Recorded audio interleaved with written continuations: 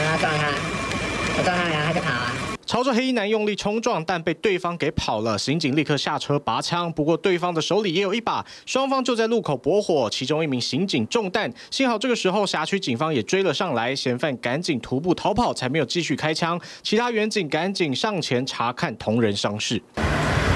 警匪枪战发生在凌晨两点多，新竹县湖口乡工业区附近。中弹的是桃园杨梅分局的刑警，一开始跨辖区疑似想要抓人，没想到对方会拔枪。而湖口警方会到场是接到报案电话，说车子被砸，但到场没发现，却看见了可疑车辆。新竹警方到场的时候，发现一辆车行迹可疑，是停在路边没有熄火。而何姓通缉犯当时就是坐在后座，但他碰上警方拦查，不止不配合，而且还趁着远警不注意下车徒步逃逸。四十六岁核心毒品通缉犯被新竹警方拦查，趁机下车，沿着小巷子逃逸。没想到过了几个路口，又碰上桃园刑警，双方当街互轰，开了至少八枪。嫌犯发现远警肩膀中弹后，就加速逃逸。湖口警方追查报案人是嫌犯的女性朋友，当时载着他一路逃逸，因为害怕，决定偷偷报毁损，让警方到场处理。